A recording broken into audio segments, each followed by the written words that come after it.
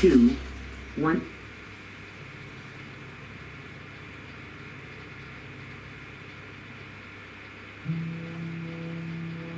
Two zero complete. Okay, so here we are at Mach 3. So I'm just going to drop it down a second and pull up my script. Now, it's opened in Notepad.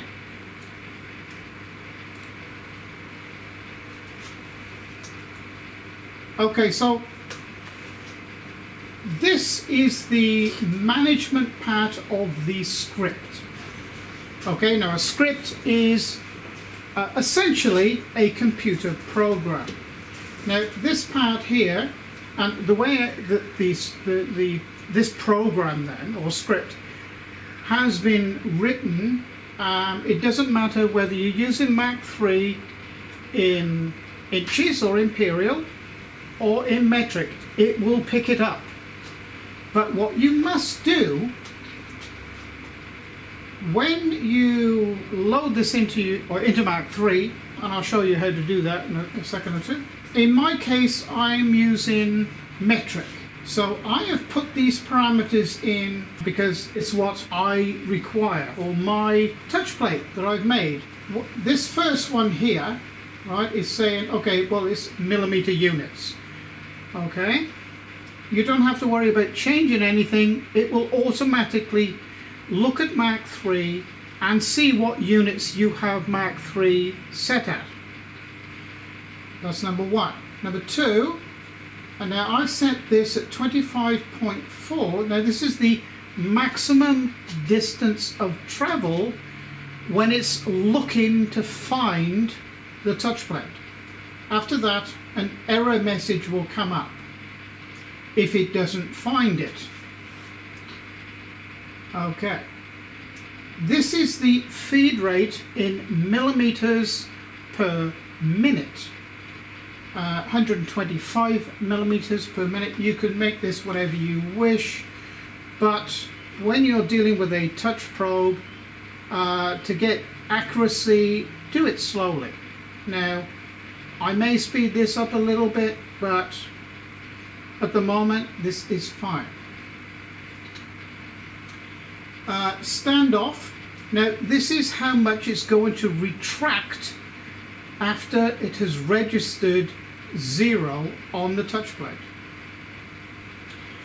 Now, this is the touch plate measurement. Yours may be different, so you just fill it in here. Okay, mine is 12 millimeters. Uh, these two here, don't worry about. This is uh, if you have uh, a second or third uh, type of, um, you know, whether you've got a puck or whether you, you, you know, you're using some other device other than the touch plate that I've designed.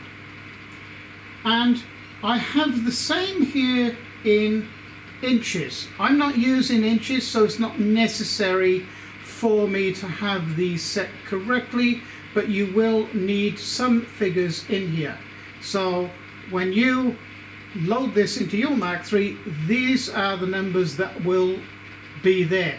If you are using inches and you want it different, uh, you know, to suit your touch plate or whatever, it would be necessary to, for you to fill these in. Really, that as, as far as the script script goes, that's all you uh, that's all you need to alter. Don't touch anything else there are many, many lines of script here. And uh, I say to you again, don't alter it because it will either not work at all or it could allow your machine to do something that you don't want it to do. Okay, so these are the only parameters that you should alter and choose whether you're using metric or imperial. Okay, and I will say again, I did not entirely write 100% of this script myself. I've taken it from many, many different scripts that I've had in the past and that I've uh, I've written in the past, uh, and I've also obtained from other manufacturers. Okay, so what you simply do from the pad then, Windows uh, Notepad, is right click, select all, right click again, copy, you can get out of that, open up Mach 3, you come up here then to operator, edit script, edit button script, sorry, click on that, and you'll find that some of the buttons here will flash. So you go into your auto tool setting here and you paste the script in here. If there is some sort of script here uh, when you open it up, it should only just be one little line of script up here. Right? Um, select that and delete it and paste all of this script into this window and press the red X and say yes. So then close Mach 3 and save. Okay.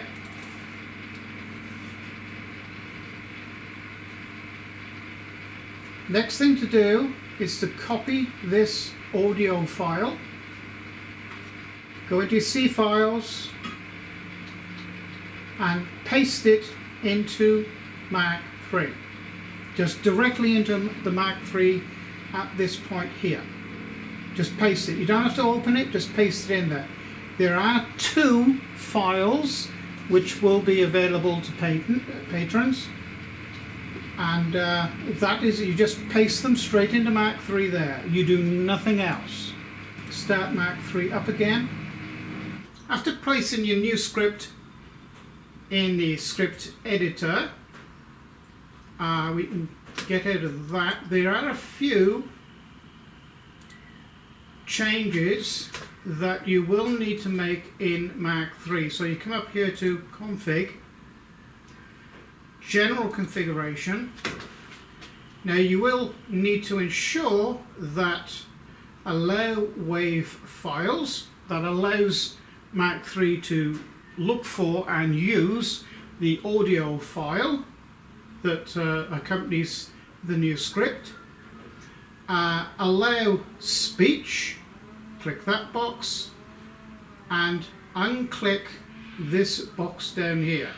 Otherwise, Mach 3 will be beeping all over the place. Okay, so that's the only things you need to alter there. Come out of that.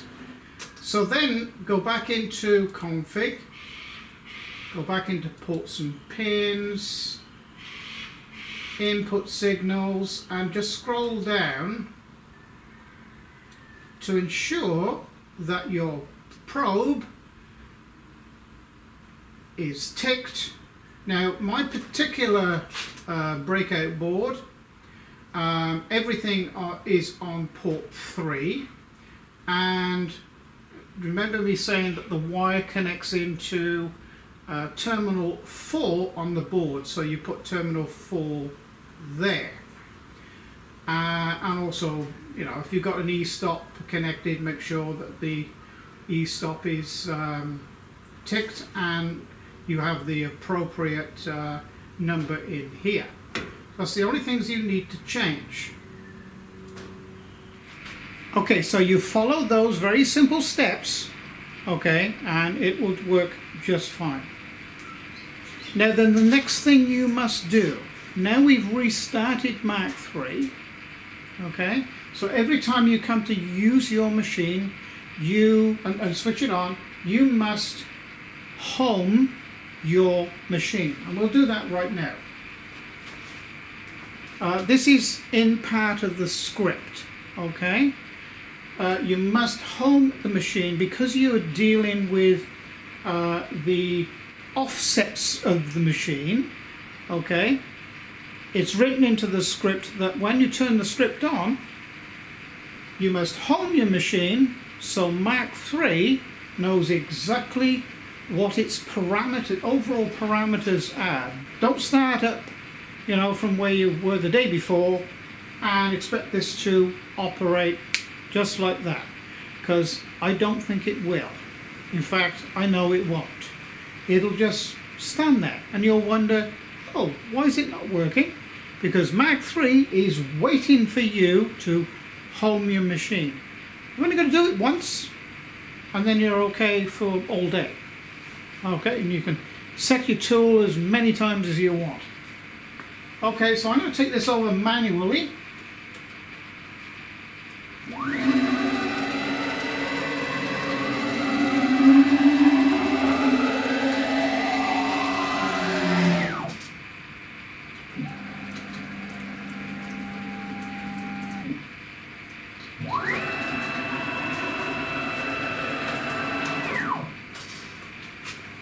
So now we will home our machine.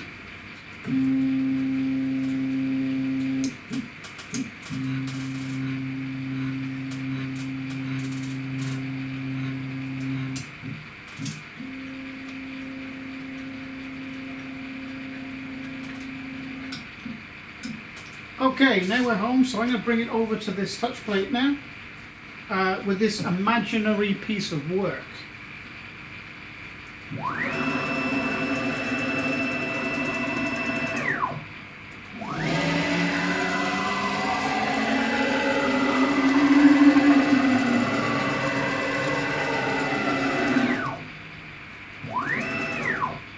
Oh, incidentally too, because I nearly forgot to do it, turn your soft limits on. That's also written into the script.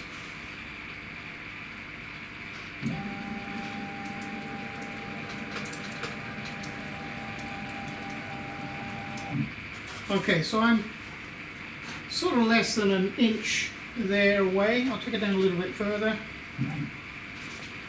Um, right, next thing that you must do, okay, is the first operation is to zero your x and y coordinates. So we will imaginary, you know, we'll make this, where this is here, we'll make this that, okay, we're happy here, this is where our xy coordinate is. So we will zero that. x0, y0. This is another precautionary uh, item that I've written into the code. If you don't do that, it'll just stand there. It's, I've put as many protections into this, this, this script as I could think of. So next thing you do is connect your earth onto your tool. You may also wish to check your circuit. Okay, I'll show you how to do that too. I'll just um, zoom you into Mach 3 up there and I'll show you what to do. Okay, so going to the diagnostic window, catch hold of your touch plate and just touch it onto the end of the tool and you'll see digitize, the digitize um, LED will flash.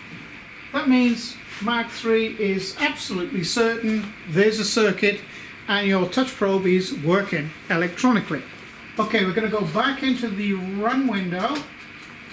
Now then, uh, the tool setting device is set underneath the tool. The earth is connected. We've checked to see whether we have a connection electronically, and we have.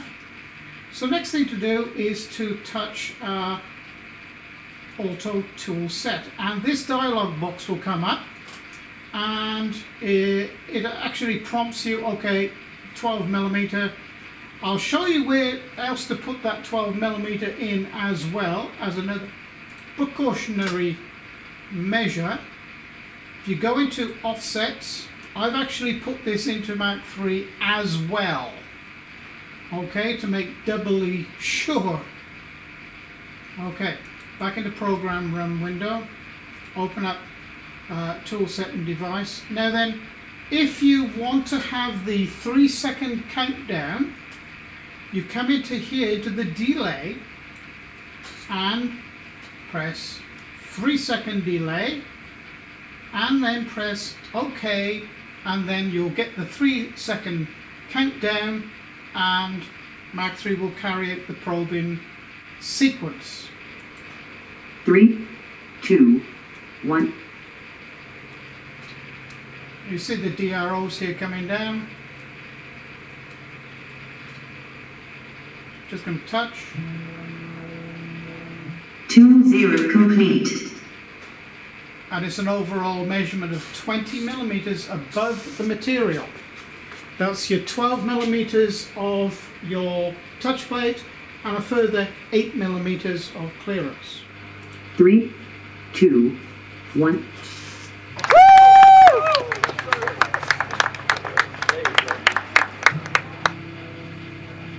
Two zero complete. Okay, so the reason I made the 8 millimeters clearance off the touch plate was because it allows you to pull this out. This is a 6 mil step here, so it allows you to pull it out and push it in so there's no real mucking around having to raise it further on up and it's an overall 20 millimeter um, over the height of the material. So there you are. Z height touch plate, how to connect it up, how to put the script in uh, with a little bit of AI as well. And uh, of course the script is available to patrons. Patron information and a direct link will be under this uh, video in the video description area. So if you've liked what you've seen, press like and subscribe and come and have a look at some of my other videos. There is now 788 or 89, one of the two. So thank you for joining me and uh, till next time, it's bye for now.